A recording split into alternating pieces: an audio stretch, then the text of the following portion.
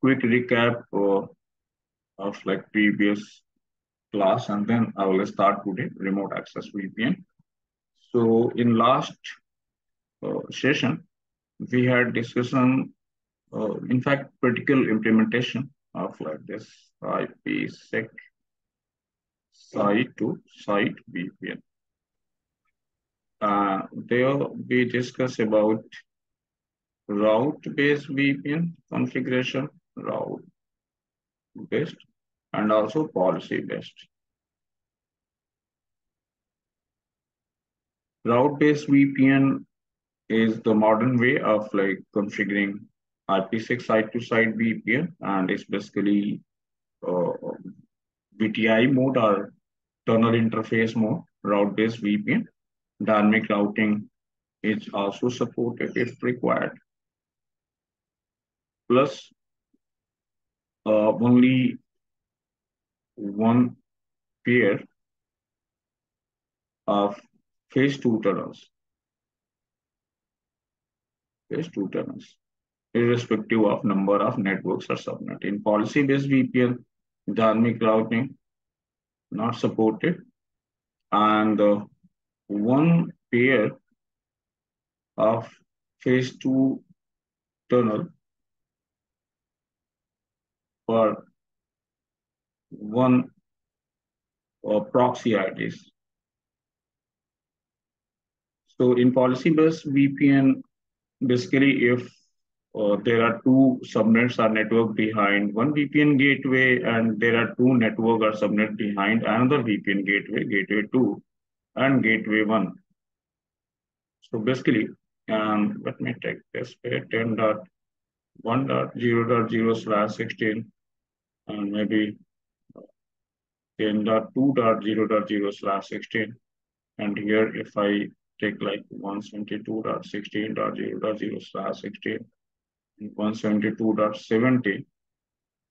So if there are two subnets behind uh, gateway one and there are two subnets behind gateway two. So in policy-based VPN, what happens? Total four pair of phase two tunnels are created four pairs means like one pair between 10.1.0.0 and then 172.16.0.0, 10.1.0.0, and then 172.17.0.0, 10.2.0, 172.16.0.0, and finally 10.2.0, 172. 17.0.0. So basically uh, total uh, four pair of tunnels created. So a big limitation, in fact, if like there are multiple subnets or networks that need to be protected behind each gateway, that means policy-based VPN means number of phase two tunnels are increased. And that's the reason why like policy-based VPN uh, is commonly nowadays like not configured. In fact, in FortiGate also, we have seen like policy-based VPN by default uh, feature uh, is not available. So what we did, we first enable policy-based VPN from feature visibility option, right? And uh, uh, uh in FortiGate also, we we have just like we seen that uh, uh, for each pair which proxy IDs or each subnet or network pair phase two parameters also need to be configured. That's what like we have seen in uh, FortiGate, in fact. But B, whether it's route-based VPN or policy-based VPN, framework that is used is IPsec. IPsec framework is used here, right? IPsec means like phase one and phase two negotiation. IKE protocol is used, internet key exchange, right, for negotiation and for encryption, authentication, data integrity check. ESP is used. IKE is UDP based, UDP port number 500. ESP is uh, like not UDP or TCP based. ESP is just like uh, uh, operates just above the network layer. So identified with just the protocol number, protocol number 50. And uh, ESP uh, in, in, inside ESP header uh, there is a sequence number and sequence number is used uh, in NT replay NT replay mechanism 32 bits number. And another important uh, field or attribute of ESP header is SPI security parameter index. Again 32 bits hexadecimal value. Uh, Uh, for each uh, you know like uh, phase two tunnel basically right? Because like encryption method, hashing method, and other like informations are not sent with each packet. Rather, like SPI number of value like is embedded like inside ESP header is exchanged, and with that value with the SPI number receiving VPN gate, we understand like how that packet will be processed, what uh, decryption method has to be used, and has hashing algorithm, everything. So SPI is like security parameter index. So both are very important uh, attributes uh, inside ESP header. So like whether we configure route-based VPN or policy-based VPN first, IPsec framework is used. IPsec second, or site-to-site VPN means always available VPN, right? And uh, and can be either hub and spoke or full mesh. Like that depends like what type of topology we want but we can configure either hub and spoke or full mesh topology in uh, site-to-site VPN. Today topic is like, uh, again, based on the VPN, but the next VPN, and that is remote access VPN. Because in remote access VPN, protocol-wise, even we can use SSL also. And uh, SSL like operation or handshake is very different than IPsec because in IPsec, what happens? In IPsec, uh, uh, in phase one, like the first turn for turn, first turn of negotiation, like phase one negotiation in IPsec. And mainly mode, main mode, because in site-to-site VPN, main mode is used. In remote access, aggressive mode is the default mode, aggressive mode is used.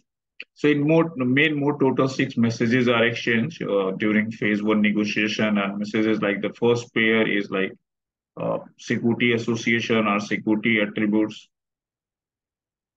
security attributes like encryption method, hashing method, authentication method, DH group, and lifetime.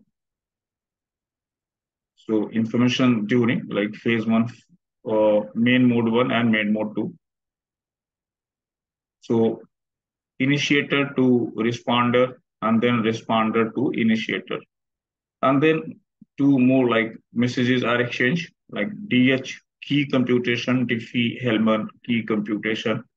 And then finally, VPN peers authentication, main mode 5 and main mode 6. So VPN peers authentication. So total, this way, six messages are exchanged back and forth, like three three two-way exchanges. I can say like three two-way exchanges in phase one. Like so, once phase one is successful, tunnel is created. Then uh, like phase two negotiation starts here because phase two is for the data plane for the user traffic. Phase two tunnel. Phase two tunnel is basically unidirectional. Phase one is bidirectional. And during phase two, again like encryption method is negotiated, hashing method for the data plane traffic. Uh, but authentication method, no, not negotiated. DH group, if PFS is enabled, then yes, DH group is also negotiated lifetime. Plus, like the protocol, whether like ESP or AH, that's another uh, important uh, like exchange during uh, phase two. And uh, in case of policy-based VPN, proxy IDs, of course, so proxy IDs like the network pair or subnet pair. So all exchange during phase two. Once both tunnels are successful, then yes, like uh, data plane traffic, user traffic will be now uh, exchanged securely between uh, both networks. That's what we have learned during uh, this IPsec site-to-site VPN. That is always available VPN like for sites connectivity. But what about other VPN, like the VPN that we, um, so let's, let's quickly go through this, then I'll be back. So another VPN is like remote access VPN. So remote access VPN uh, enables users to connect to a private network remotely using a VPN and employees who need to access their company's network from off-site locations are people who want to securely connect to a private network from a public area frequently use this kind of VPN. So remote access VPN is on-demand VPN. On-demand VPN. Uh, it's not site to site basically because uh, remote access VPN means like for uh, like dial-up or uh, mobile users, in fact. So it is one of the use case like uh, to access enterprise network in resources remotely, remotely, right? Using internet as the transport. And there are different types of remote access VPN exist, each using its own protocols to encrypt internal data sent over the internet, and this prevents unauthorized users from connecting to private networks. Once connected, users have full access or maybe limited access, depends like what type of policy we have created. So even after successful connection or tunnel negotiation, uh, what all applications a user can access, what data uh, like maybe uh, resources can access, that is again further controlled with security rule or security policy. So yes, we can control like uh, access with the policy, just as if they are connected on premises. So exactly, and even if we want to give unrestricted access, full access, that is also policy, or that is also possible. So uh, here, like uh, for example, local LAN is 10.10 dot triple one dot one means like this entire network range or subnet range that is 10 dot 10 dot one triple one dot zero slash 24 so internal network, corporate network, enterprise network, and uh, WAN interface IP, public IP is this. So remote uh, client is like uh, our mobile user connected with internet. And uh, FortiClient is basically a software, uh, VPN agent software, VPN client software that need to be installed on machine like computer or laptop or desktop, right? In order to have uh, a proper, I mean, like, uh, or like full access if required to corporate network, even though like uh, there can be a clientless remote access VPN also, clientless wherein like client software is not required. We can use a browser to connect with remote access VPN gateway to access resources, but very limited, in fact, uh, access can be provided and just with the help of SSL portal. So it's not very common, in fact, uh, clientless VPN. Clientless VPN is mainly for, let's say you have a FTP server and you have uh, uploaded a folder and you want your partners or maybe consultant to access that uh, FTP server or maybe the folder securely. So for that, yes, like we can use clientless VPN because not permanent employee and uh, maybe occasionally like uh, uh, maybe FTP server or some information put over the SSL portal are required to be accessed, then yes, we can go with this clientless. Because in clientless VPN client software or any agent software not required to be installed so uh, straight away, just like uh, using any standard browser, uh, published resources, like resources published to SSL portal can be accessible. So not very common, but yes, uh, also supported. That means in remote access VPN, there can be uh, client-based VPN, remote access VPN, and client-less VPN. There are two types, in fact, client-based and client-less.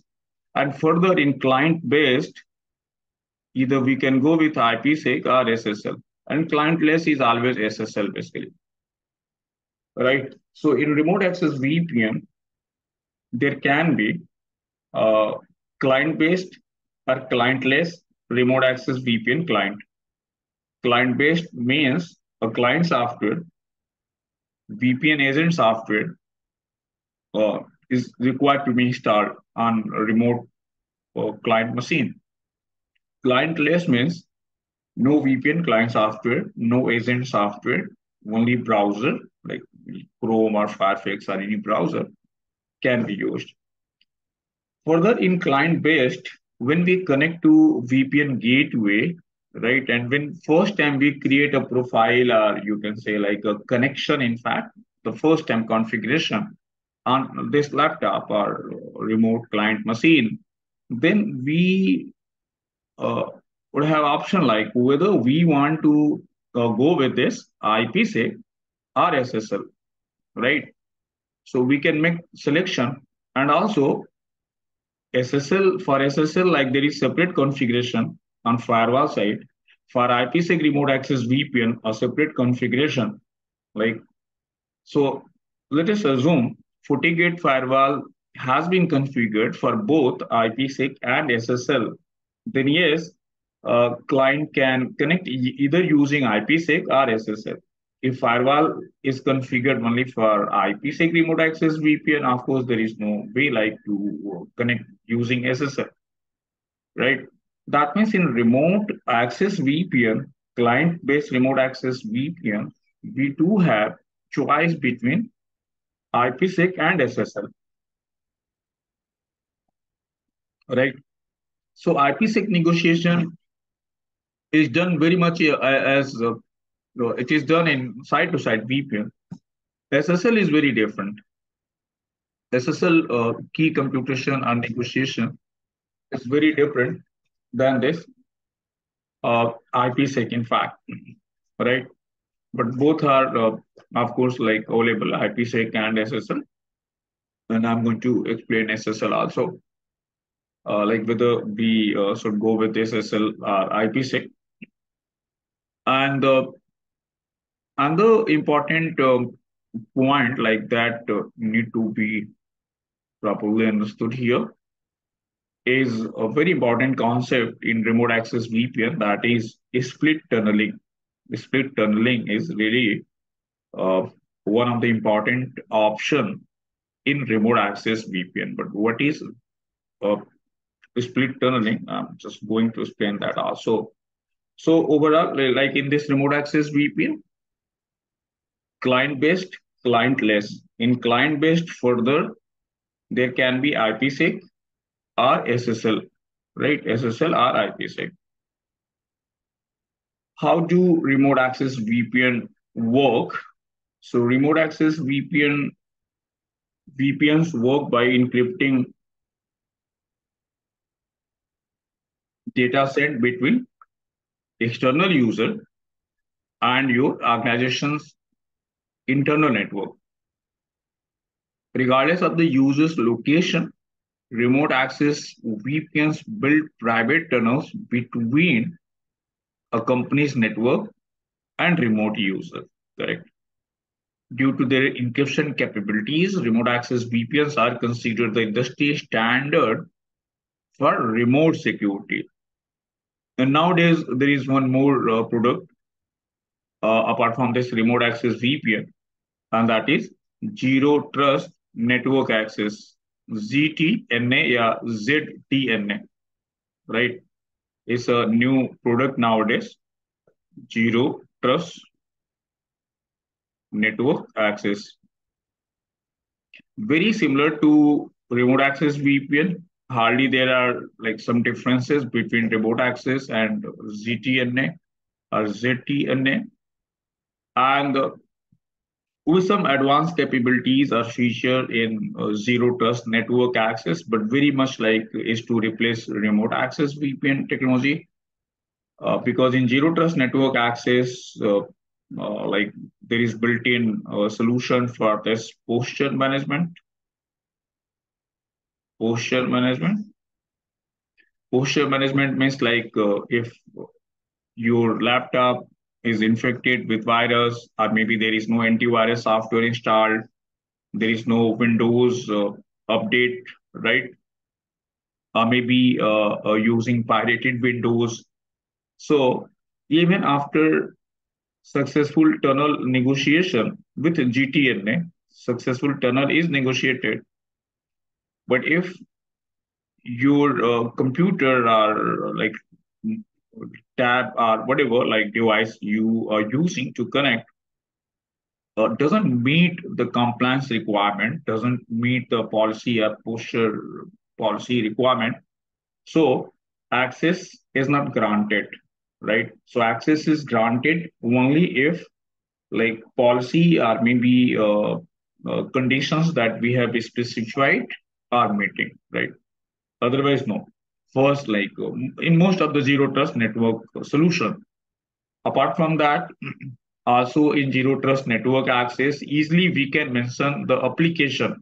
For example, if we want that uh, only certain applications should be accessible to remote access VPN clients so that we can easily do with the zero trust network access. Even in remote access VPN also like we can customize the policy accordingly, right? Plus multi-factor authentication again is built in in zero trust network access and there is another enhancement in split tunneling mechanism but in order to understand that first you should understand what is split tunneling but that's another uh, feature like incorporated in zero trust network access and different than traditional remote access VPN. So zero trust network access solution is very much like modern uh, uh, uh remote access VPN, basically, with some differences, of course, with some differences. And uh, a lot of companies like uh, are coming up with their solutions product. Like one of the important name is like Perimeter 81 perimeter 81 and i think uh, fortigate or some other company has just recently purchased uh, this uh, vendor like perimeter 81 and uh, very popular name is this zero trust network access domain and there are some other companies even fortinet also has a zero trust network access solution. And other vendors also like coming up with zero trust network access. And another reason why Zero Trust Network Access dedicated appliance is getting so popular nowadays because of uh, you know like uh, role distribution also. Means uh, your firewall is already doing plenty of job in fact encryption uh, like uh, SSL decryption policy threat prevention IPS and other stuff so another reason why like uh, a lot of organizations prefer to have a dedicated zero trust network access to distribute the load, in fact, right? One device dedicated for uh, providing this remote access uh, solution. And mainly after this COVID and all that, like uh, ZTNA got so popular. And there is another enhanced version, advanced version of this, uh, that is software defined perimeter, SDP. Like, so there is another solution apart from this. SDP is something like uh, uh, cloud-based, in fact, controller-based uh, solution for this remote access VPN means like SDP controller, just like SD-WAN solution, right? And that's why it's known as software defined perimeter. So here, like if this is my corporate network or enterprise network, and a user wants to access corporate network resources, like here there is VPN solution, remote access VPN, like zero trust network access or VPN. But a remote access VPN client is not directly going to connect with the VPN or something like first, like will hit to this controller. Controller is in the cloud, right? Proper authentication will be done. Everything policy will be checked. What resources this user can access or not, right? What application can access what application cannot access. It's all done from here. And then like second connection uh, created to this uh, uh, VPN. For example, straight away, if like client is going to access application app one and user is not authorized to access the application app one. So even at the first place by the controller itself, uh, request will be denied. And there is no point of like uh, being redirected to the corporate side. Uh, th this type of solution basically. So SDP is like, again, different than the zero trust network access. So these are some advanced technologies, right? Remote access VPN already is like very popular and old solution. We have zero trust network access for remote access. We have software defined perimeter. In uh, like both, a remote access VPN, encryption, decryption method like uh, remains same in fact, right? Negotiation and all that. because zero trust network access is also built on top of like the same technology, VPN technology. So not very much different than the remote access VPN. But vendors are selling their products with GTN, remote access, and uh, they bring out like a lot of uh, comparison with remote access VPN. But generally, if we are using remote access VPN solution of any good vendor, right, then hardly you'll find uh, two or three differences between uh, these two, apart from the uh, load sharing or load distribution means like having a dedicated appliance for remote access VPN in your corporate network. Other than that, uh, I don't see like any major difference. I, I mean, like because um, in remote access, uh, but yes, in remote access VPN, like maybe uh, if you want to do like multi-factor authentication or some advanced technology, then some third-party integration are required. Uh, without third-party integration, uh, doing a lot of configuration not possible. Uh, but in zero trust network access and all that, like uh, it's very easily done. In fact, right? We, we generally get the option and all the APIs and everything is in, in, inbuilt. In fact, so that's another difference or reason you can say. All right.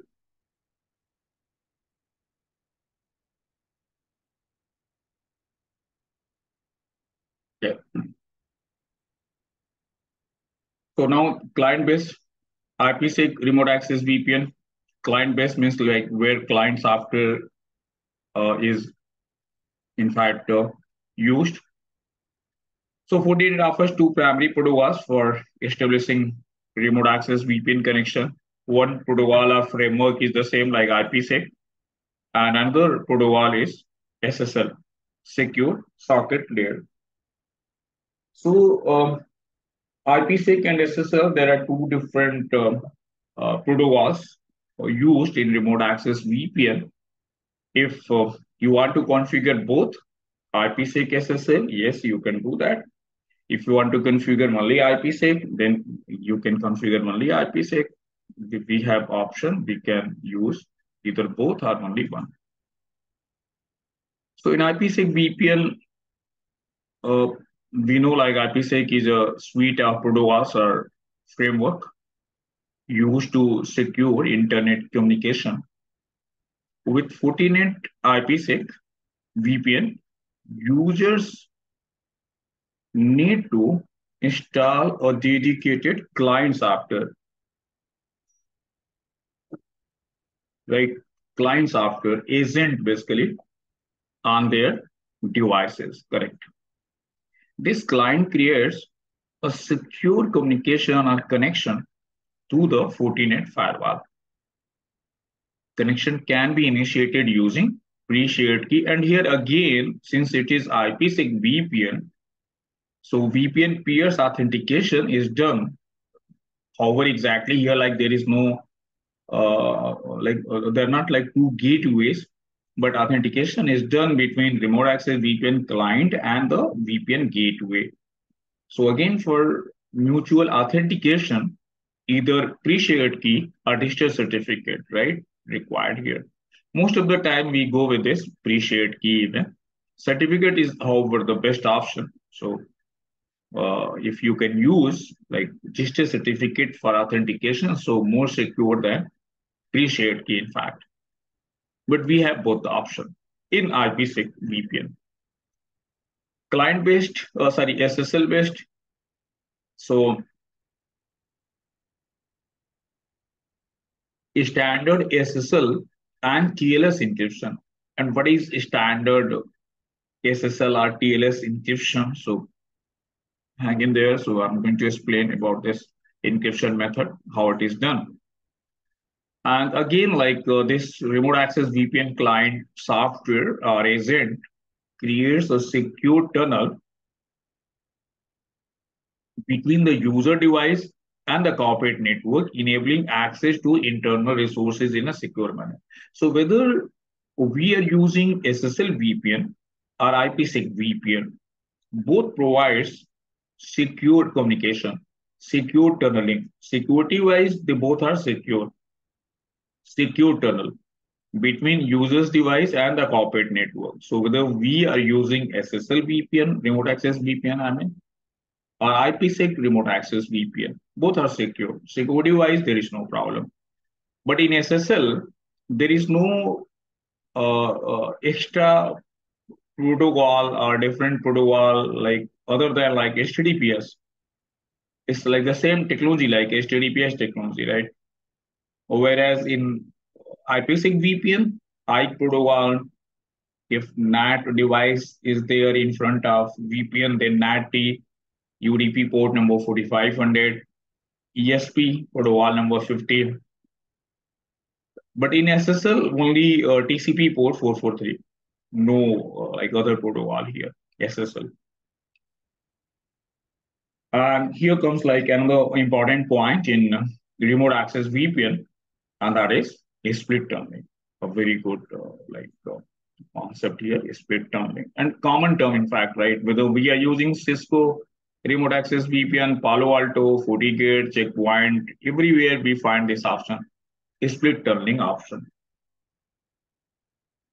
So what is split tunneling? Split tunneling is a feature that allows a remote access VPN user to access both the VPN protected network and the public internet simultaneously. In other words, not all traffic is routed through the VPN tunnel, and this can be useful to optimize bandwidth uses and provide access to local resources while still benefiting from the security of the VPN sensitive data.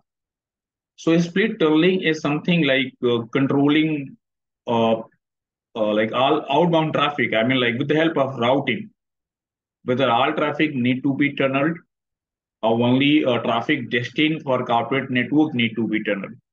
Decided with this split tunneling disable or enable feature or option because we have option whether we can enable split tunneling or we can disable split tunneling. Uh, let's see, do I have any other uh, file here? Just let, let me just finish this and then I'll be back to this split tunneling because understanding split tunneling is really very, very important in uh, like remote access VPN. So I'll be back to this split tunneling, but let's let's finish this first. So and how do we configure in FortiGate firewall? So uh, FortiClient software, yes, is like required to be downloaded and installed on the client machine. Launch the FortiClient software. This client side configuration. And uh, when we open FortiClient software, then it generally asks to create a new VPN connection. There we select IPsec or SSL. Fill in connection details like uh, your VPN gateway IP address. Like phase one, phase two parameters can also be uh, like changed. In fact, authentication method, and then just click to connect. Kind of dial-up VPN basically, a kind of dial-up VPN. So it's not very complex. Configuration wise, not very complex, but let's understand like this split tunneling first, and then I'll be back to SSH protocol. So let me explain this split tunneling. What is split tunneling? In any remote access VPN, not only in FortiGate, in any remote access VPN. So this is my VPN gateway, a network, corporate network, 10.0.0.0 slash 8. Internet and remote client.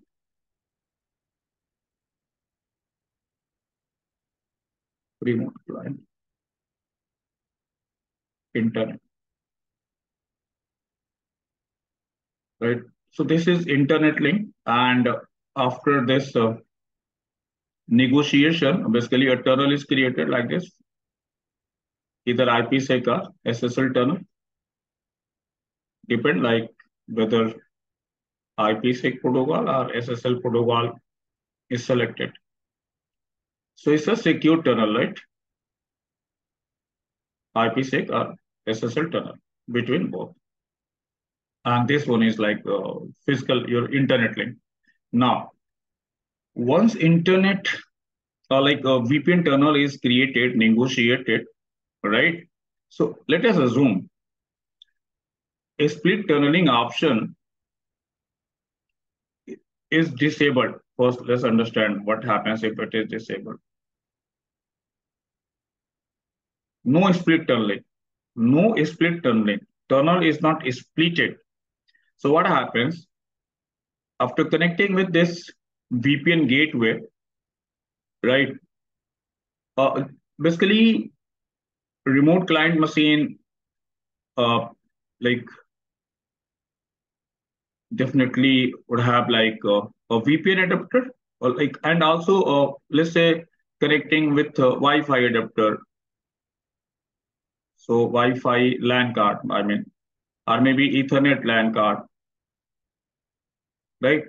And another adapter here will be VPN adapter, virtual adapter, virtual LAN card, right? From where it comes after installing software. Once we install software, remote access VPN client software, FortiGate client software, so automatically you will find another virtual adapter LAN card on your laptop. That is VPN adapter.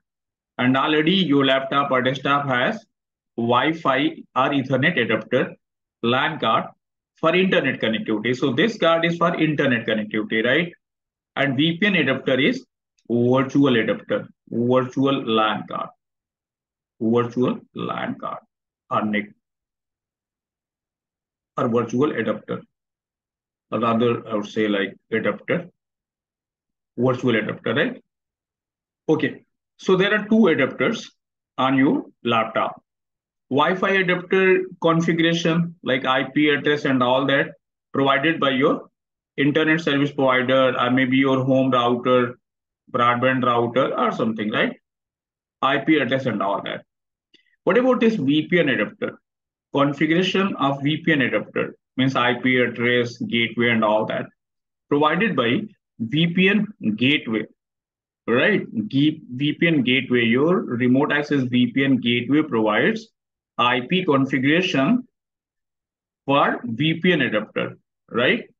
So generally what we do here, like either we configure DHCP or just simply we put a range here, IP range, right? IP range, for example, let us assume IP range is 172.16.1.1 to 172.16.1.50 range of five, uh, 50 IPs or 51 IPs. So when remote access VPN client successfully negotiate a tunnel, either SSL or IPsec tunnel, right? So what happens? IP address from this range is automatically provided to VPN adapter.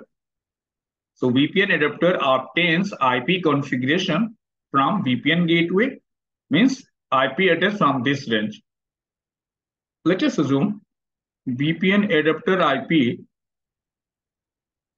adapter IP is 172.16.1.2 right so whenever remote access client communicates with corporate network or VPN gateway this one right? So VPN adapter is used. Sending packet inside this tunnel means source IP will be 172.16.1.2 IP, right? This and destination, whatever destination you want to access.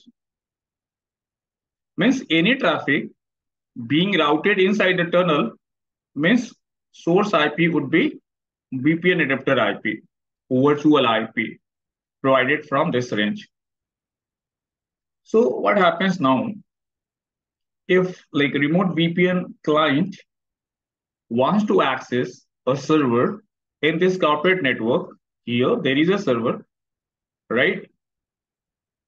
So it's, it's something like you, you can imagine if like remote access VPN client is like connected with a, a different segment here, right? A complete network of this range, a virtual adapter here. That, that means routing like this, right? Two different network segments, private virtual or private network segments. Exactly, there is no like uh, interface, physical interface here, right? There is no physical interface. but you can assume as if remote access VPN client is sitting where? Sitting here, right? Another network segment. Another network segment and IP range is this 172 range, right? Someone. And do we have to configure any routing or so? No, we don't have to. This route is basically automatically added to this VPN gateway routing table and VPN gateway assume as if there is another network segment, uh, 172.16, 1 something. So routing wise, no, we don't have to do anything. It's all virtual IP range. But definitely uh, IP address that you should specify here uh, should not be used anywhere and private IPs, of course. So after tunnel negotiation, whenever remote access VPN client communicates with corporate network, then VPN adapter is used. IP address assigned to VPN adapter is used, of course, this one IP. And very easily, like communication happens here. That's what like uh, uh, like all about your VPN adapter or virtual adapter, LAN card or virtual adapter, in fact. So what, what is now like then split tunneling, in fact, right? Let's get to the main point. Let's understand split tunneling now. What is split tunneling? So let us assume split tunneling is not enabled. Split tunneling is not enabled, is disabled. That means tunnel is not split. So what happens now? After tunnel negotiation, after tunnel negotiation, all packets are tunneled. That means remote access VPN client, even if it, it, it tries to access 888, remote access VPN client is trying to access google.com or even corporate network, maybe 10.1.1.5, no matter what the destination is, right? Either internet bound traffic or corporate network bound traffic, both are tunneled. Both traffic are put inside this tunnel, right? So even internet bound traffic is being put inside tunnel. So Google traffic, 888, traffic even will hit the corporate VPN gateway, right? But destination is what? Google.com. And uh, so what happens now? Now, if FortiGate firewall doesn't have route to the internet for this IP network range, this IP network range. If there is no like uh, policy, there is no routing, there is nothing configured here, then what will happen? Google traffic or internet bound traffic not successfully routed. As a result, remote access VPN client would not have internet access at all. Once VPN is connected, so what you will see, our remote access VPN client will see no internet connection. Whenever VPN is terminated, VPN is disconnected, then internet is running properly, right? This may happen. This may happen. Like whenever you are working from home and connected to a corporate network, you cannot, at the same time, you cannot open Facebook or Google on your laptop. Once you got disconnected from VPN, then yes, you will have internet access. First use case. And when this would happen? When split tunneling is disabled. So when split tunneling is disabled, that means all traffic, be that internet bound traffic or corporate network bound traffic will be put inside tunnel. All traffic tunneled and will hit your corporate VPN gateway. Now, what happened after that? Uh, that depends on your FortiGate firewall configuration, what configuration you have. One option, option number one, no internet access.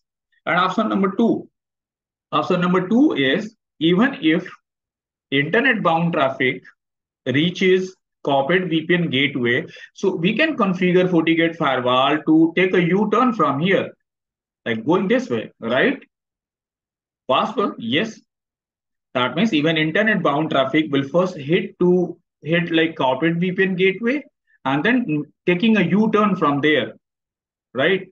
So what configuration we would have to do for that? First, creating a security policy First configuration is creating a security policy and VPN gateway.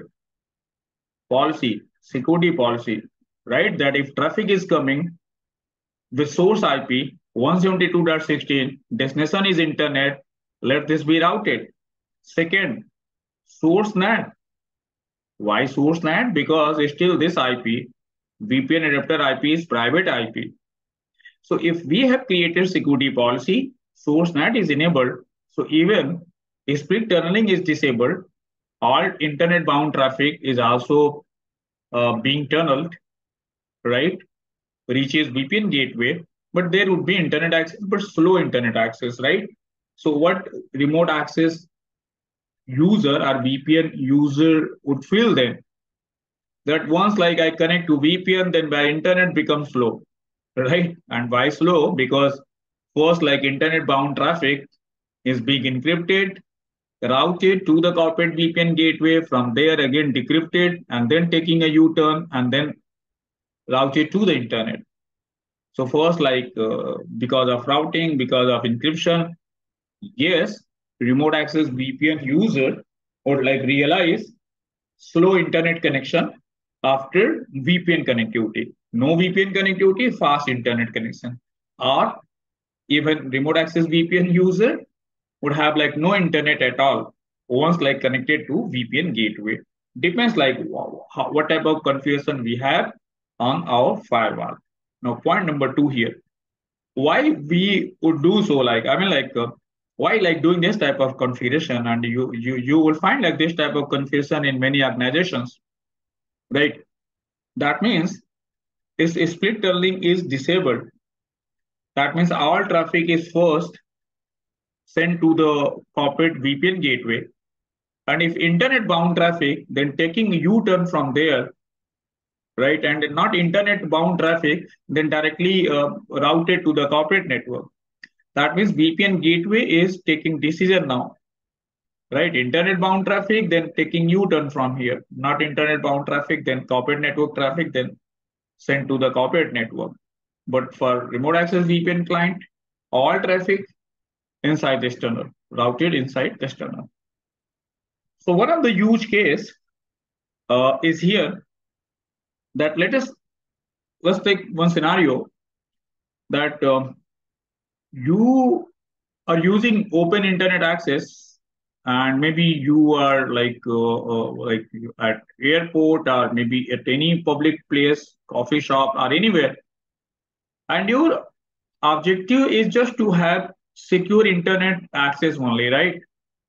Really you are not interested uh, to access corporate network resources right? Your, your objective is just to have secure internet access. But since you are not in corporate network, you are at uh, uh, airport or hotel or somewhere else, and your laptop doesn't have firewall, right? Firewall means like next generation firewall, hardly antivirus. So uh, you cannot take risk. Like if there is open internet, or free internet so definitely you'd be interested in like uh, doing some secure access. So this type of scenario even will help you out right? I have just powered on my laptop first connected to vpn corporate vpn my office vpn gateway and then doing like browsing and all that stuff right? So like objective is to have secure internet access and for that purpose, for that reason, if I'm first connected to my Office VPN gateway and then internet access, so Office VPN gateway means like complete threat prevention, right? Antivirus profile, URL profile, other profiles, IPS, all activated here. So since communication is happening like through or via this VPN gateway, that means communication is very, very secure. This can be one of the use case, right? Wherein split tunneling is disabled, but VPN gateway is configured to uh, take a U-turn for internet bound traffic. Otherwise, I don't see like any other use case. Why do we like uh, uh, not do like a split tunneling? So this can be one of the reason, right? That uh, you don't want to split the tunnel. You want to put all traffic inside this secure tunnel internet bound traffic, that decision would be taken by FortiGate VPN gateway. Uh, but nowadays, um, uh, like even if our like there are some cloud-based security solutions because now most of the organizations they prefer to have uh, some you know like uh, cloud-based solution or SASE like uh, secure edge secure access solution like Zscaler, Cisco Umbrella. There are some other solutions. So, uh, like for security purpose, even not required every time to be connected with corporate VPN gateway and accessing uh, through that. Even like we can uh, use some cloud-based security solutions. So we do have like some cloud-based security solution. So maybe then uh, this feature uh, might not require. But that's what split tunneling is, right? If, split tunneling is disabled, I mean. But what if split tunneling is enabled? Let's take another scenario split tunneling is enabled now. So what happens? Split tunneling is now enabled. Scenario number two. So disabled, you understand. Tunnel is not split, right? All traffic put inside this tunnel, even internet bound traffic also. But if a split tunneling is split tunneling is in enabled, then what happens? Now enabled split tunneling is enabled. And we have also specified that any traffic destined for 10 network should be put inside SSL or IPsec tunnel. Now, remote access VPN clients wants to access 10 network, any IP from 10 network and sourcing with VPN adapter IP, virtual IP, right? Of course. Then this traffic, since destination is what? 888. So traffic will be put inside this tunnel. Why? Because destination is 10 network and 10 network is what? My corporate network, right? But at the same time, if destination is other than 10 network, destination is other than 10 network. Let's say destination is 888. So what happens? Source IP is like your Wi-Fi adapter IP address. Now this time, not virtual. And traffic is routed via this LAN card or Wi-Fi adapter, like via or via your ISP or broadband or home router. So basically, there are two routes here. There are two paths, right? It's like a destination-based routing. For 10 network, tunnel is like is used. Any other destination other than corporate network, right? So it's, it's steering of like traffic. Traffic has been like you know like uh, uh, completely uh, bifurcated. There are two paths in fact. So if split tunneling is enabled, and we have specified that only 10 network traffic should be put inside IPsec or SSL tunnel, and traffic for any other destination directly to the internet, right? So that's what split tunneling is exactly. And how is all achieved, in fact, right? Because, uh, you know, like uh, uh, what data, what traffic should be put inside tunnel, what traffic should be sent natively, like without encryption. Decision is taken by the remote access VPN client machine, right? This one. Because uh, routing uh, like which path had to be taken decided by uh, this device in fact uh, let me client machine. Right? From here itself like routing via this or this so how it is done with routing routing of what FortiGate firewall no routing of your Windows computer, Mac computer, Linux machine, whatever like device you are using here. Routing table of this. That means this computer route table should have route that in order to send packet to this, use this interface link IP or whatever, like 172 IP. I mean, like this range IP. For any other destination, 1000, use ISP network our home router, broadband router. So do we have to do routing on like VPN client machine? Do we have to put route? Because in, in Windows also we can do routing like with the command route add and we can see routing table with route print. I will show you in the lab, right? No, we don't have to do any routing on VPN client machine. Then how it is done? It is done by this VPN gateway. So when we enable a split tunneling, right, we, we uh, specify that uh, uh, network address, our corporate network is 10000 like this. Route is inserted by this VPN gateway. So whenever remote access VPN client successfully connected with the VPN gateway, so route is pushed by VPN gateway and installed on this look uh, VPN client machine. And we can verify the same from CLI with the command uh, on Windows machine. We can run the command route print. Route, pre, route print output will show route in the routing table. And whatever route is advertised or sent or installed or injected by VPN gateway would have higher metric, best metric in fact. So even if you have done routing locally on that, so uh, this route will always be preferred route pushed by this VPN gateway device. So it's basically a split tunneling is routing feature, routing mechanism, but it's done in very automated fashion. We don't have to uh, put any route in the routing table we just configure our VPN gateway and then uh, accordingly route is installed on remote access VPN client machine in fact.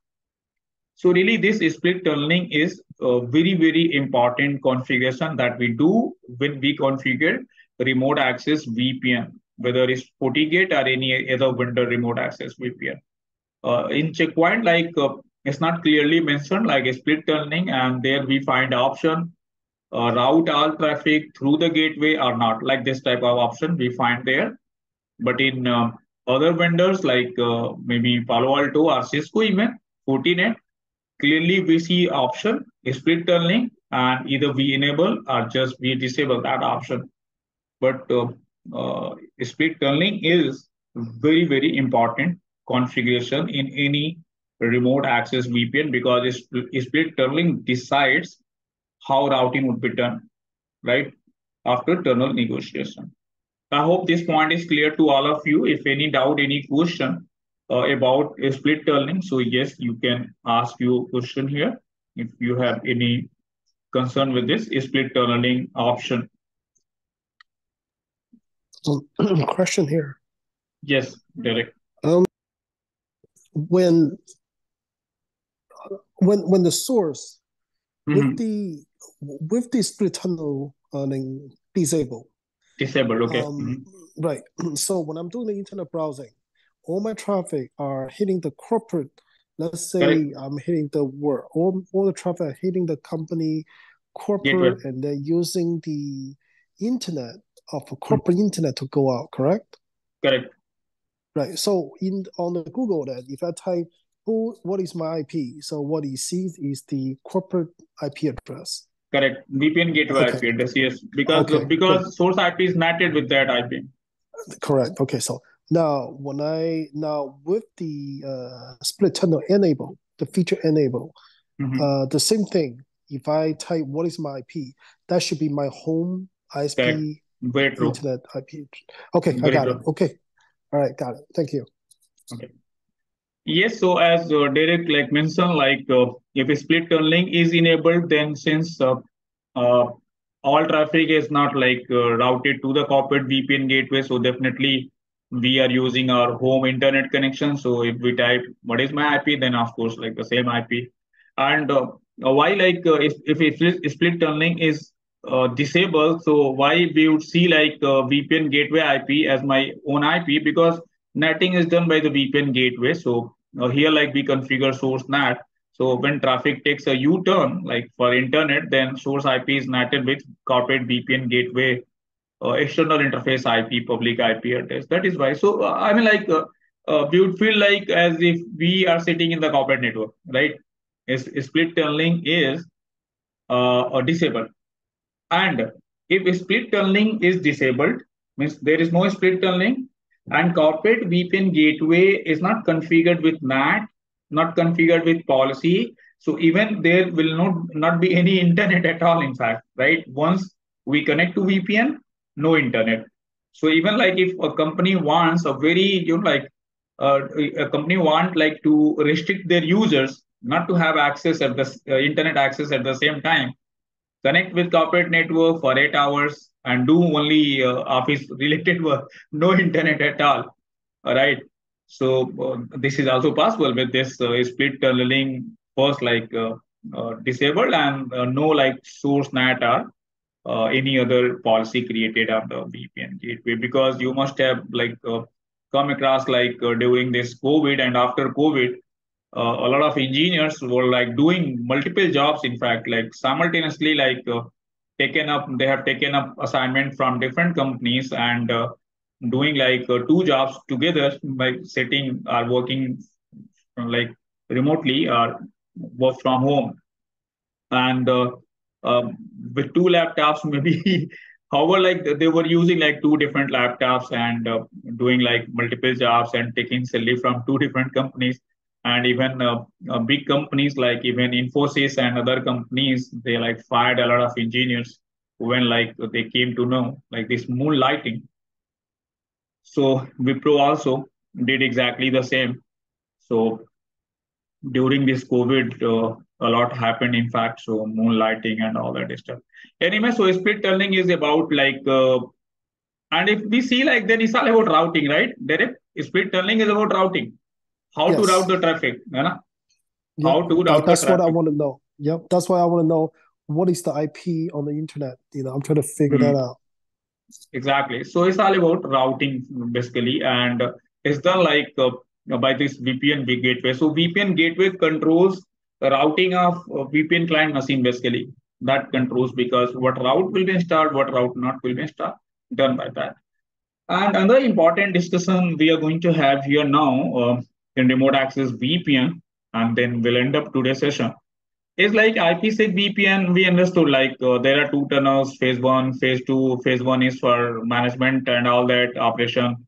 That means phase one tunnel is used to ex- securely exchange information of like uh, VPN gateways only. So when VPN gateways exchange information, then phase one tunnel is used uh, for data plane traffic, user traffic. Uh, phase two tunnel is uh, used. In fact, phase one is uh, bidirectional, phase two is unidirectional, and all all that stuff like route based, policy based, and all that. But what about IPsec VPN? So if you, oh, sorry, SSL VPN. So because in remote access VPN, we have choice, like we have choice, either we can use IPsec or SSL. So what if uh, SSL is being used uh, internal, not IPsec? So what happens? How encryption is done? So let's understand this SSL negotiation, uh, the concept behind this SSL handshake or SSL negotiation. Literally, SSL is very different than your IPsec, in fact, right? There is no comparison between SSL because SSL handshake means like uh, same exactly uh, when we open any site with HTTPS. When we open any site with HTTPS, so exactly the same happens. In fact, SSL handshake is done and so what happens like when we open any secure site like PayPal or Facebook or any website with HTTPS? So what happens there? How data is encrypted? Let's understand that because exactly the same technology, the same uh, negotiation is done in SSL VPN because HTTPS is also very much like SSL VPN. And uh, uh, sometimes like even we see SSL slash TLS mentioned in most of the documents, right? So basically SSL and TLS, they both are almost same. Secure socket layer, transport layer security, transport layer security, and secure socket layer. They both are uh, same basically. And uh, however, uh, nowadays we are using TLS, right? Uh, standardized uh, uh, like suite for encryption, decryption, and all that. SSL is not a standardized version. SSL basically like a concept was given by a vendor, Netscape. Netscape uh, was also very much in browsing also, Netscape Navigator, very similar to Chrome, Firefox. So 15, 20 years back, uh, there was very popular browser, Netscape Navigator. Apart from Internet Explorer, there were no other browsers at that time, no like Firefox, Mozilla and all that. Safari, yes, Netscape Navigator, Safari, Internet Explorer, these these were like some browsers. So the same company, uh, like um, given the concept of this SSL or SSL protocol, secure socket layer, and they came with different version of SSL, like SSL version 1.0, then SSL version 2.0, 3.0, and different versions means like different uh, cipher suites, different encryption technologies or hashing technologies and all that. So when like the next version was to be released, SSL version 4, then internet communities decided to came with uh, uh, like you know some standardized uh, like protocol or some standardized encryption and decryption method. So they name it uh, like TLS so TLS is not uh, like vendor specific, it's a standard, standard or standardized. And, uh, and then nomenclature even is different in TLS. So instead of SSL version 4, like there is TLS 1.0. So basically TLS 1.0 is equivalent to SSL version 4 because only in SSL there are three versions, version 1, 2, 3 no SSL version 4, and then a new series came in TLS 1.0, TLS 1.1, and now like it's, it's going this way 1.2, 1.3, and I think 1.4 is also in the pipeline and maybe must have been released now. But otherwise, latest is TLS 1.3. So basically, TLS is the standardized version of SSL, right? Uh, but since SSL is so popular, known to everyone, still we use the term SSL handshake, SSL certificate, right? Very rare we use the term TLS handshake, TLS certificate. No, because SSL is really still very, very popular. So sometimes we use SSL, sometimes we use term TLS. They both are interchanged, right? But one of the same thing. So SSL and TLS, they both are same. TLS, however, is the advanced version of SSL, nothing different. So because this uh, creates confusion sometimes, uh, what is TLS, what is SSL, so they both are same. Just reason is like uh, very straightforward that SSL very popular, and uh, so it, it's still like people call it SSL, SSL certificate, SSL handshake even though even though we are using TLS 1.2 or TLS 1.3 protocol suite, no more like SSL, but still we use SSL handshake or SSL certificate. But the point here, how like encryption is done in SSL. If it is not IPsec, there is no phase one, phase two. So how like communication is secure? So in order to understand that, Let's take one example and let's understand what happens when we open any website with HTTPS. Because exactly the same negotiation, the same uh, uh, like uh, uh messages are exchanged during SSL handshake also, apart from IP assignment and all that. So when we open any website with HTTPS, let's say you type HTTPS column, any website, let's say paypal.com, right? And internet here, and it's a PayPal server and client. So what we understand that when we use HTTPS, then a secure tunnel is created between client and the web server. And that's true. SSL tunnel is created. It's SSL tunnel. A tunnel is created and data uh, like exchange between client and secure uh, and server is very much secure encryption and authentication, everything is done, right? If we are using HTTPS secure site, but an encryption that is always like uh, in bulk data transfer, bulk data transfer, always symmetric encryption is done. Symmetric encryption is done, right? And what is symmetric encryption? Same key is used by both parties. For example, if client and server, they both have agreed upon that A will be encrypted as zero, B means one, C means two, D means three, E means four, and F means five. And here also A zero, B zero, sorry, one, C three, E four, and F means five right? So now what happens now? 0, 1, 2, oops, I did something. 0, 1, 2, 3, A, B, C, D is missing. And that's why like there is not symmetry.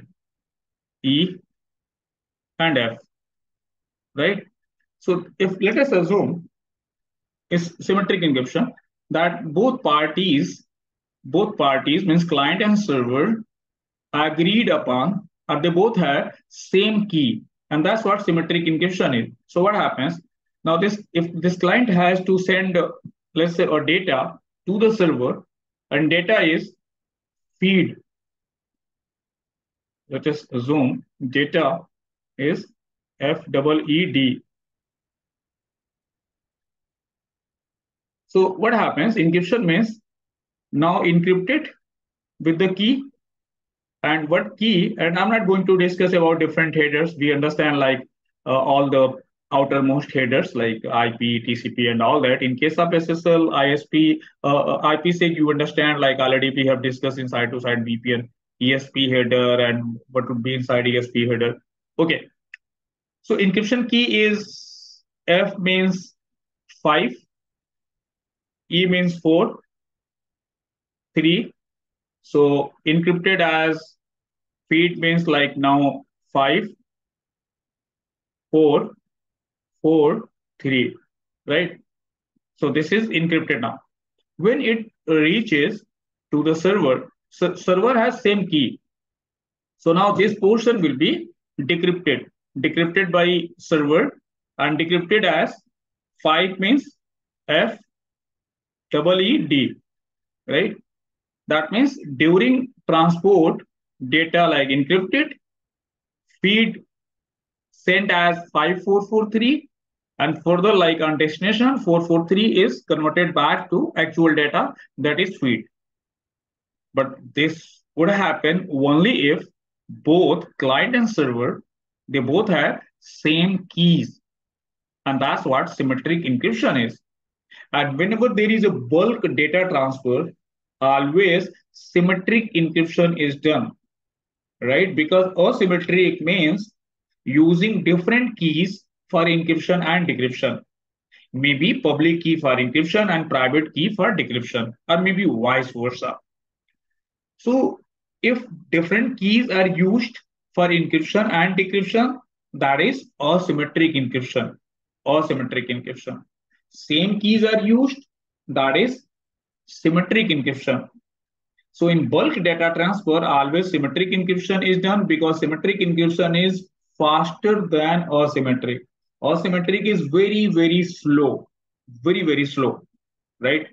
Bulk data transfer, symmetric is always done. Now, the big challenge here is how do both have same key? that A will be written as 0, B written as 1, C written as 2, D 3, and so on. So that's uh, really a big challenge because the information cannot be sent over the internet. Because if let's say a client decided to do encryption this way, and this information is sent across over internet, so it's not a secure way anybody would get this like information like would be knowing like how to do the perform the decryption. So of course, both client and servers are not going to exchange information using insecure transport like internet. And if that is not done, then how will that be possible? I mean, like both client and server using same key. So let's understand that, right? How keys are computed in HTTPS or SSL, right? Because tunnel is all about uh, encryption, encapsulation. So what happens when we type HTTPS colon double slash and any name? So first, like domain name is resolved, of course. So we don't want to get into a DNS part of it, like how uh, resolution is done, how domain name is resolved to IP address. So let's understand paypal.com is successfully resolved or translated to IP address either by local DNS or any other DNS server. So what happens next now? So client then immediately send a packet to the uh, server from client to the server and known as client SSL packet, hello packet. In this packet, client sends like what TLS or SSL version supported by the browser, Chrome browser, and whole bunch of supported cipher suites, means encryption method, Diffie-Hellman and all that, right? In the first packet itself. Also like some session ID, session specific data. And this common name or domain name, like there is another important field SNI, wherein like this domain name will be mentioned, paypal.com. So complete information is sent in packet number one, that is client SSL hello packet, client to server. What PayPal server or web server does now, first like checks whether server also supports same cipher suite, means encryption, hashing, and other methods. SSL or TLS version, right? If all same, server also support like same encryption, hashing, SSL and TLS version, then immediately server send another packet. And this time from server to client is part of SSL handshake. So packet number two. So packet number two is from server to client and known as server hello packet. It's just the acceptance that yes, I agree to the same uh, encryption, hashing, and other method. What next now? Now PayPal server sends again from server to client certificate, SSL certificate plus public key. And then the fourth packet, three packets, all like back to back. The fourth packet is, yes, my hello negotiation is done now for now. So three messages, three packets are sent by server to the client. So server packet number two is all about like uh, uh, agreement or acceptance of uh, parameters or attributes. But what about packet number three? Server certificate, right? This one. So certificate, and then of course it is done. So three packets are sent, right? So certificate is now PayPal server is showing a digital certificate, sending a certificate to the client that see, I have a digital certificate I have a digital document and you can find my name on the certificate that my name is paypal.com. Certificate is also uh, still valid and issuing authority is maybe DigiCert or any other authority. So what's the purpose of this SSL certificate? First, to establish identity, identity of the server. That if I am trying to access paypal.com, so really I have been connected with paypal.com how it is established? With certificate.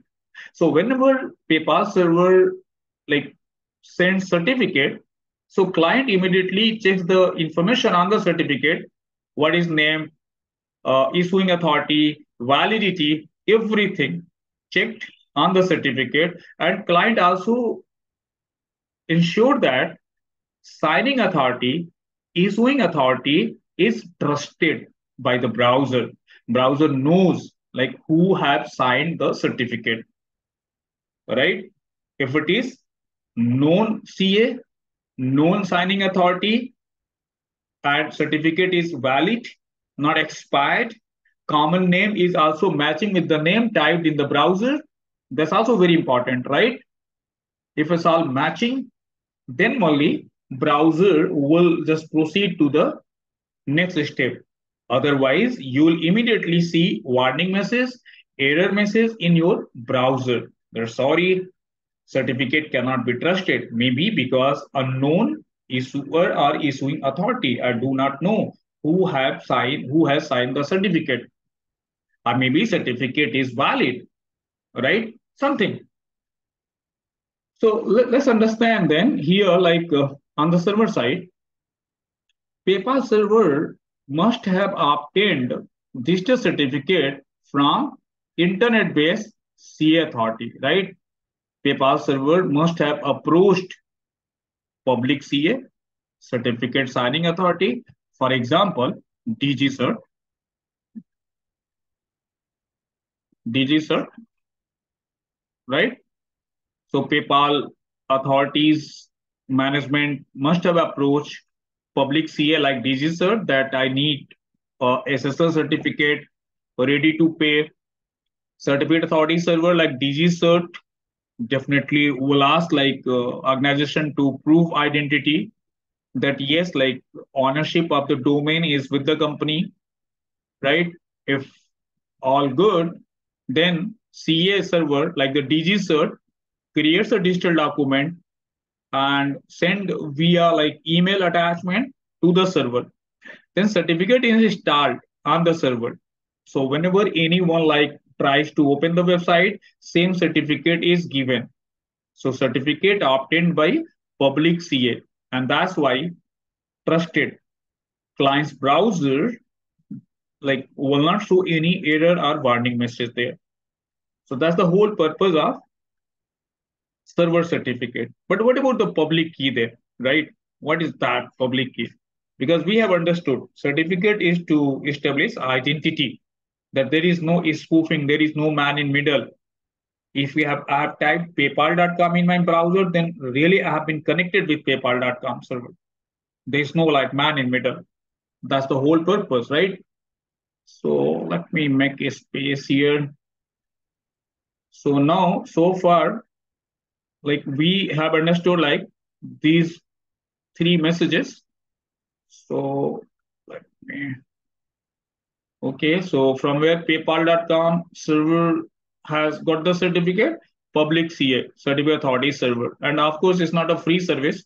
So certificate authorities like DigiCert, Comodo, VeriSign, they take money, right? They ask for the money, of course. So, so far we have understood that post packet client to server. So client SSL hello packet.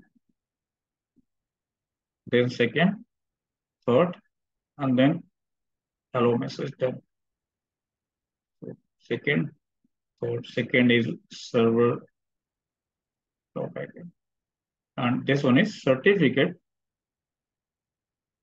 plus public key. And then it is server hello done. So what is now public key here? What is the role of this public key? Because certificate we, we have understood to establish identity. Now public key here is uh, whenever uh, like certificate is uh, like uh, PayPal server like ask for like any certificate with any CS server, certificate authority server. So basically, uh, a CSR file is generated from the server, certificate signing request. And when CSR is generated, then two half of a key also generated. One is known as public key, another one is private key. So basically this CSR file is shared with the certificate authorities but only this portion, public key. So public key is generally uh, uh, like very much part of your certificate, right? But not the private key. Private key is held by the server by uh, any device, and CSR is like uh, is certificate signing request is encrypted text data, right? Created or generated on the device where we install certificate. Let's say you want a certificate for your Riverbed WAN optimization. So you'll have to generate CSR on your Riverbed.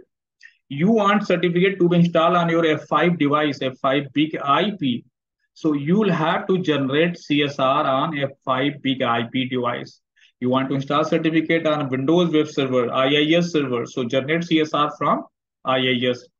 That means CSR is like something uh, uh, like uh, encrypted text wherein like uh, all the informations like your uh, website name, company name, organization name, plus public key as all like uh, is will be in CSR file, encrypted file shared with CS server. CS server uses like those information in generating certificate.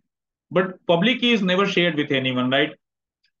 uh, sorry, private key is never shared with anyone. Private key means like very much private. Public key is yes shared. Public key is shared here again. But what's the purpose of public key? So let's understand. Now, what happens next? Once identity has has been established, certificate is valid, everything is up to the mark. So what client does now? Client performs some computation, mathematical computation, and computes pre-master secret key. Pre-master secret key is generated by client machine browser. Pre-master secret key, a key here, right? And now this key need to be shared with server. This key need to be sent, right? Key need to be sent. Even though it's not the final encryption key it's a pre-master key, pre-master key. Pre-master key is used to compute encryption key, main key, final key, right? So from pre-master key, actual encryption key is computed, but this pre-master key need to be shared with the server because they both should have same pre-master key. But again, the big challenge, if the pre-master key is shared without encryption, right, then a security risk. So what happens here in packet number five, pre-master key is sent, of course, but encrypted, not in plain text, encrypted,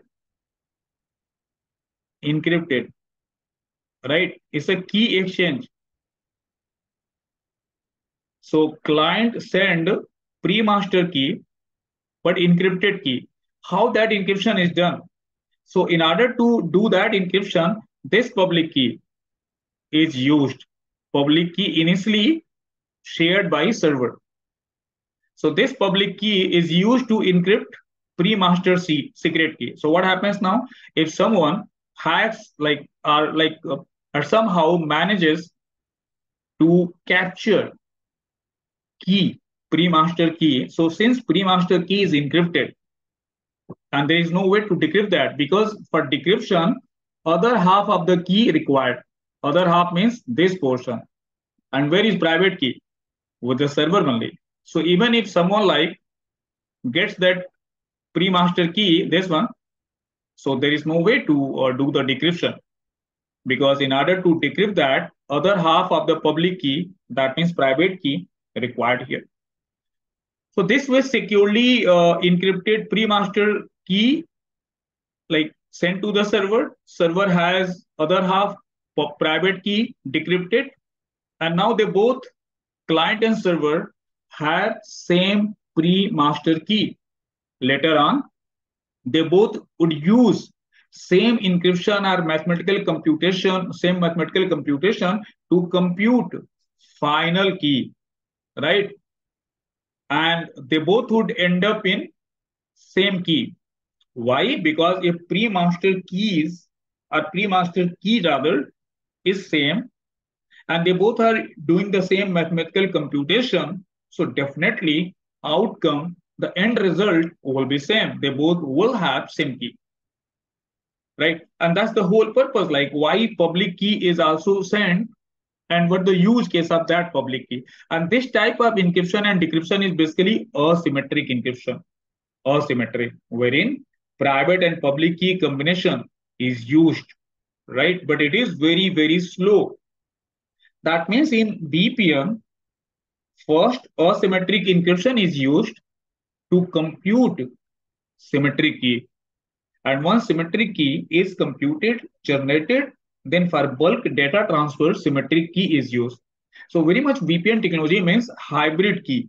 Why hybrid key? Because first, initially, a symmetric method is used, private and public key combination is used, and after that, symmetric, same key. So in packet number five, basically, client sends encrypted message, means like key exchange is done but it's not in plain text, encrypted, encrypted by uh, with the public key initially shared by server. And other half of that key, private key, will be with the server only. So this way, client is successful in sharing pre-master key.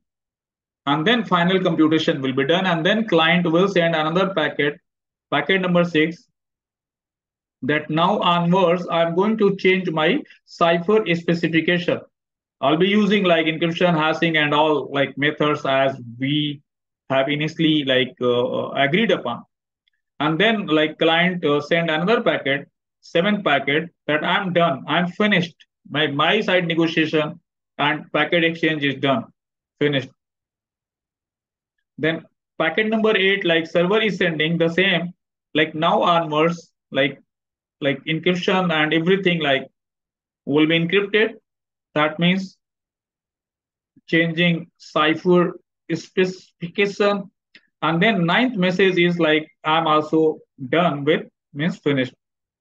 So this way total nine messages are exchanged between client and server. And uh, like in case of any website, whenever we access website with HTTPS, Identity is also established. Identity is also proved with the certificate. Public key is used in uh, in secure exchange of pre-master key. Pre-master key. I'm using the term pre-master key because that is not actual key. That is not used for data encryption decryption. But yes, pre-master key is used in computing uh, master key, right? So uh, and that's the reason like why pre-master key is also not shared in plain text. Because if pre-master key is compromised that means anybody can compute uh, like uh, by using some you know like permutation combination can compute the same key. So yes pre-master secret key should also be exchanged in very secure manner and that is done in ssl so very similar steps are performed when we use ssl vpn remote access SSL VPN, right? From where certificate comes there. We can use self-signed certificate, certificate uh, generated by FortiGate firewall itself, or maybe we can use a certificate issued by any public CS certificate. But yes, in SSL VPN, certificate is used. Without certificate, not possible. And exactly the same methods like negotiation method is done. And that's the reason uh, that SSL VPN is also secured because uh, client and server now both have uh, uh successfully computed keys, right? And communication is very, very secure. So whether we are using IPsec VPN or SSL VPN, in terms of security, both are secure. But SSL, as we understand, is like uh, uh, very much like related with presentation and application layer of your OSI model because presentation is like how data is presented. But uh, SSL uses TCP port 443, means like your application layer, TCP port 443. Whereas IPsec, IPsec is a complete framework, right? Here, like we use IKE protocol. So IKE is something like uh, UDP base, UDP base, like very much like application protocol. Any protocol that uses TCP or UDP port means like your application. But ESP is not application layer protocol. ESP is very much like your uh, network protocol, like EIGRP, OSPF. IKE is like your BGP protocol. Border Gateway Protocol uses TCP 179 port, means application layer, whereas EIGRP, OSPF, no application, right? Uh, like just they use protocol numbers for identification purpose. Same here, ESP is like protocol number 50, not port number. It's just protocol number 50. ESP. So ESP is very much like above network layer. I is like your uh, up to layer 7 and IPsec itself is a framework whereas SSL is not any framework it's just a protocol secure socket layer is, is something like uh, about the presentation and application layer but security wise they both are uh, almost doing the same job. They both are providing uh, like secure communication. So in FortiGate, like we uh, can use like both, and whenever we'll do like lab of this FortiGate firewall, so we'll see like in uh, of course today I'm not going to uh, start with the lab because already like we are about to finish today's session. But whenever we do configuration, I, I mean like we open this. Uh, let me quickly just show you like from where do we get the option. So whenever we create um, any connection here, so you can see here like SSL VPN or IPsec VPN, right? Provided uh, your firewall should also uh, be configured because if even if I select SSL VPN and I do like everything here on client machine, but FortiGate firewall has been not configured with SSL parameters, so yes, like connection will not be successful. Same with IPsec VPN, and in IPsec VPN also you can see like connection name, remote gateway IP, and even if I click here advanced settings, so here like we see like phase one and phase two parameters, right? Very much like site to site VPN because uh, a lot of people, a lot of engineers think that uh, remote access VPN is always SSL VPN. No, that's not true. Remote access VPN can also be IPsec and can also be SSL. So we cannot say like remote access is uh, SSL and site to site is IPsec. No, because you can see here, uh, we, we do have option to uh, go with this IPsec VPN, uh, like if required. And in case if you want to go with SSL VPN, then you can use SSL. But in SSL VPN, you don't see like uh, like option here to configure phase one, phase two, and all that because there is no as such phase one, phase two. Only uh, your standard HTTPS uh, style handshake. Client certificate option is there. So if uh, you want to use your certificate, you have any certificate, so you can use this.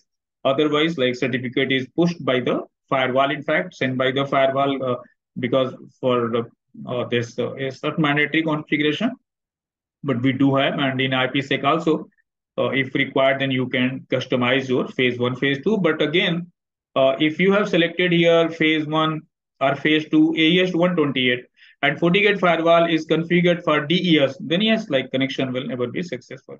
And remember, whenever you are doing lab uh, of uh, like you and you are using trial version of FortiGate firewall, so as we discussed in IPsec uh, uh, site-to-site VPN session, and we have also uh, seen that like in lab that um, I phase one and phase two means like only DES is supported.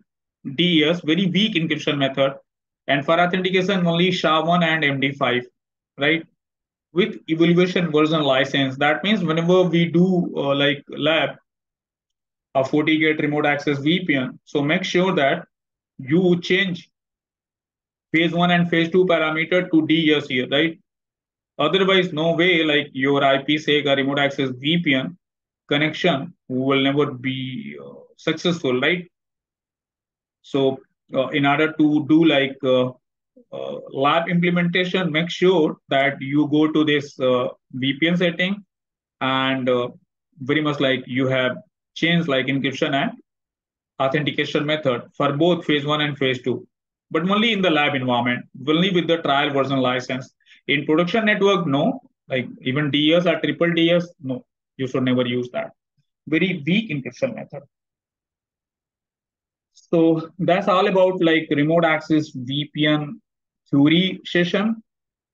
So next class, in next class, we'll see like how we can configure remote access VPN. So we will jump to the uh, lab implementation. And then after next topic will be your high availability mode, HA mode. after like uh, remote access VPN lab. So next class, first like we'll start with this remote access VPN lab and then HA mode. So any questions so far? Because I'm going to stop recording and uh, we'll wrap up today's session here. Uh, no, sir. All good. Okay. So